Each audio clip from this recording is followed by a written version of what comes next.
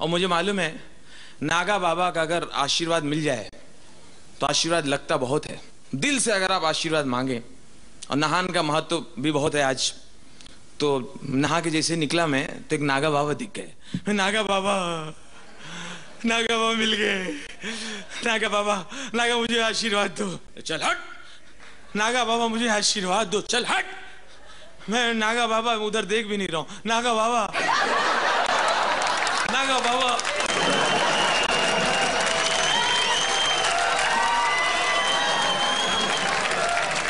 नागा बाबा नागा बाबा मुझे आशीर्वाद दो बोले चल मैं कोई नागा का बाबा नहीं हूँ मैं खुद नहा के निकला मेरे को टावल लेके भाग गया कुंभ के दिनों में चाहे हरिद्वार में चाहे इलाहाबाद में अगर गंगा स्नान की जाए पूरे मन के साथ तो मुराद पूरी होती है। और वहाँ स्नान करने के बाद बहुत सारे लोग संकल्प लेते हैं और एक प्रक्रिया और होती है, बहुत लोग वहाँ पे गौदान करते हैं, गाय को दान करते हैं पंडा जी को दान किया जाता है तो संपूर्ण स्नान होता है, पूजन वगैरह कराते हैं वहाँ पे। ये लड़के छात्र लोग तो कहीं भी कूद काद के भागाते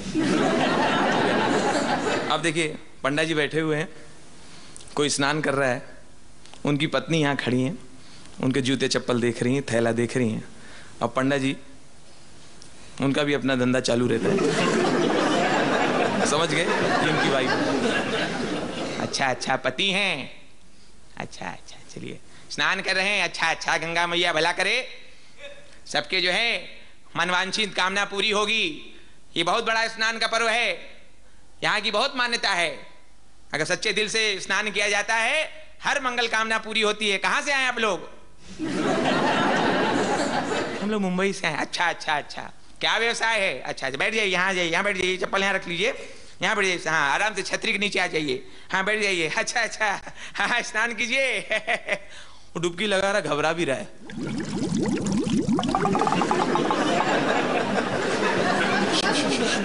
अरे गंगे जल्दी नहा के निकल आइए आइए, शीशा लीजिए यहाँ बदल लीजिए, यहाँ जा रही यहाँ घूम जाइए हाँ चंदन लगाइए हाँ झुकिए झुकिए। हो मतलब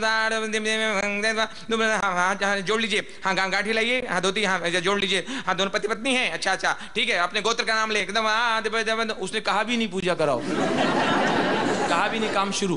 मतलब घूम जाइए अपने गोत्र नाम यहाँ पर पाँच हज़ार रुपए दीजिए, यहाँ कुछ ब्राह्मणों का भोज कराया जाता है। इतने तो लाए भी नहीं है। कितने? हाँ बस कुछ ढाई हज़ार है। ढाई हज़ार लीजिए, बाकी होटल से लेंगे। कहाँ ठहरे आदर्श कमरा नंबर एक सौ एक, वहाँ से ले लेंगे। लिख ले लड़के, नोट कर ले। ओ बच्चों के नाम बोलिए। अशोक, विनोद गोत्र बोलिए। यहाँ पर एक धर्मशाला है। वहाँ पर अभी मंदिर का निर्माण हो रहा है। वहाँ के लिए ग्यारह हज़ार रुपए दीजिए। इतने लायक हैं। अच्छा आदर्श होटल ग्यारह जोड़ते जा लिखते जा। कबड्डी चावल लीजिए, ऐसे फोड़ फेंक दीजिए, सूर्य की ओर घूम जाइए, सूर्य की तरफ़ हाँ जल चढ़ाइए हाँ नारियल लीजिए, एक दूसरे खोपड़ी में फोड़ दीजिए।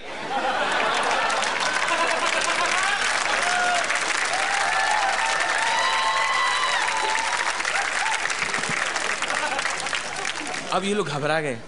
अब इतना चलिए, अभी आपका स्नान संपूर्ण हो गया। अब कोई संकल्प लीजिए। संकल्प लिया जाता है। संकल्प लेने से जो है सारी चीज़ें जो है संपूर्ण हो जाती हैं। आपका नहान जो है स्वीकार हो जाता है। संकल्प लीजिए। अच्छा थैला उठाओ थैला उठाओ। चप्पल पहनो ला शर्ट पहने। हम संकल्प ले रहे हैं। हम यहाँ कभी नहाने नहीं आएँगे, पानी बोतल से मंगा लेंगे।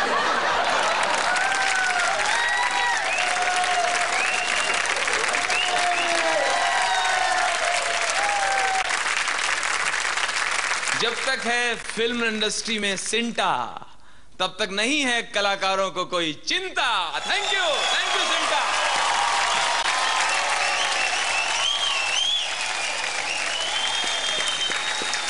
तो ये थे Raju Srivastava this man is seriously funny man हाँ कलाकार तो अपनी कला के प्रति सीरियस ही होते हैं। You're right, Mona performing arts में बहुत सी ऐसी कलाएँ हैं जिनमें सीखने और समझने में सालों लग जाते हैं।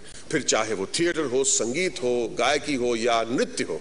और हमारे बहुत से एक्टर्स हैं जो वर्षों से किसी ना किसी कला से जुड़े हैं and are totally dedicated towards that art form उनमें से एक नाम है हेमा मालिनी जी का।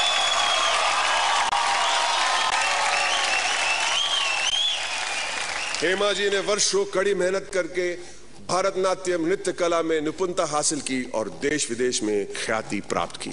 और आज हेमा जी अपनी इस महान कला की छोटी सी झलक प्रस्तुत करेंगी खास आपके लिए।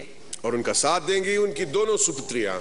So ladies and gentleman please welcome Hana Diol, Isha Diol, and the grand lady herself, Hema Malini.